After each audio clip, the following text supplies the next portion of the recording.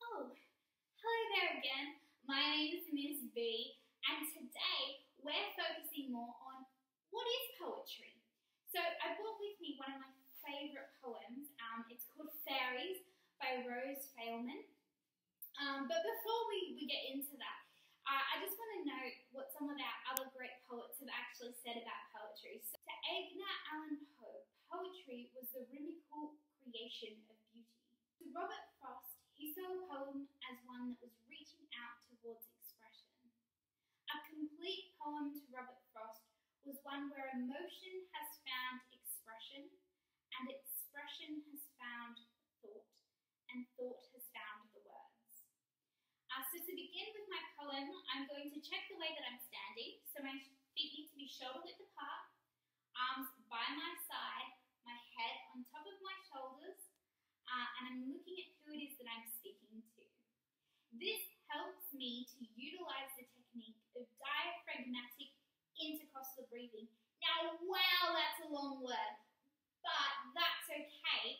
Simply put, it means that we're using the correct breathing method, which allows us to have a maximum amount of air and control that airflow so that when we get to the end of a line of a poem, we don't run out of air and we can keep going until we come across a full stop or a comma or a question mark or any other grammatical marks that we can think of.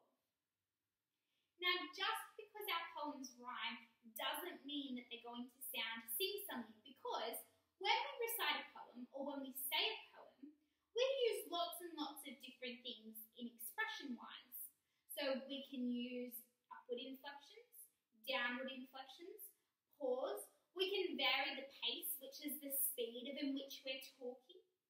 We can vary the volume, our tone. There are many different ways that we can utilize um, our voice in order to make what we're saying interesting. So another thing to consider of when we're reciting a poem is that today my poem is a reading. So even though it's a reading, um, my arm is up in the air, but my shoulder is still relaxed, so my breathing is okay. Um, I have my sheet in front of me so that I can see it, but more importantly, so I can see my audience still as well. Because my expression doesn't just come from my voice, it also comes from my face as well. So I could be pulling pretty funny faces, though I'm not going to, to make it interesting for my audience. Um, so it can be simple as raising an eyebrow, or smiling, or frowning, depending on the mood that you're trying to convey with this poem. So I've got the piece of paper in front of me. I'm still going to be utilizing a technique called scanning, which allows me to look at the piece of paper, turn my head back to my audience, and say my line so that my speech isn't being interrupted by the piece of paper. Because if I'm covering my face like I just was there, it's actually preventing my audience to have clear clarity when I'm speaking. So I want the piece of paper to be standing by my side so I can look at my sheet of paper and look back to the audience. Because when you're receiving a poem, it's you, the audience, who is the most important aspect because I'm performing to you. Um, so I'm going to start. I'm going to start by saying the title and the author of the poem before commencing the actual reading of the poem. So this is Fairies by Rose Fyleman. There are fairies at the bottom of my garden, not so very, very far away. You pass the gardener's shed, and you just keep straight ahead. I do so hope they've really come to stay. There's a little wood with moss in it and beetles stream that quietly runs through.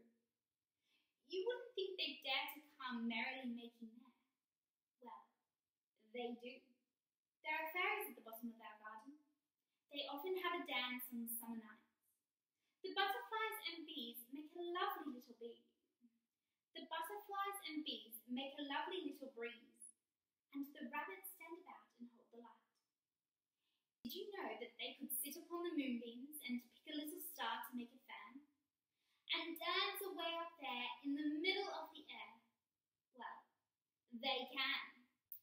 There are fairies at the bottom of our garden. You cannot think how beautiful they are. They all stand up and sing when the fairy queen and king come gently floating down upon their car. The king is very proud and very handsome. The queen. Now, can you guess who that could be? She's a little girl by day, but at night she steals away. Well, it's me. So, as you could see in that performance of a poem, there was something called what we call enjambed lines. So, it means that at the end of our actual physical line of a poem, there's no punctuation, so I'm just going to continue the flow and continue on the line. As I said, this is called enjambment. Um, did you notice that I changed the tone of my voice for when the queen came in and when the king came in? It was different. It was it was a different sound quality to what the narration was because it was a person.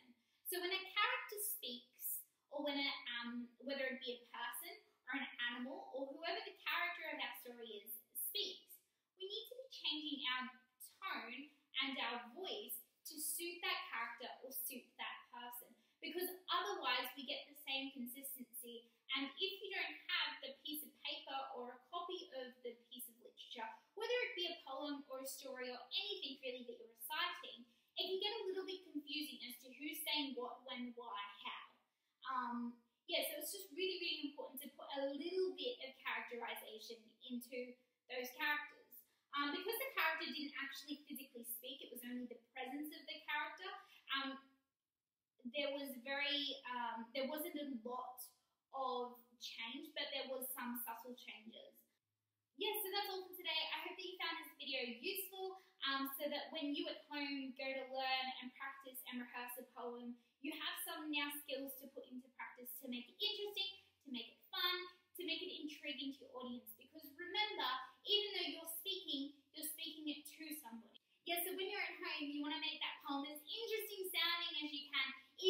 might even be reciting it to yourself.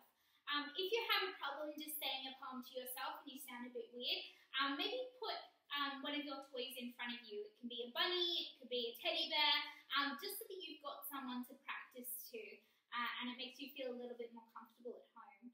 Um, that's all for today. I'll see you next time on our next video. Um, catch you then.